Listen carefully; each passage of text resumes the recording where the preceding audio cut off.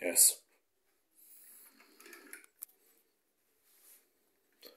L- later on, the weather changed.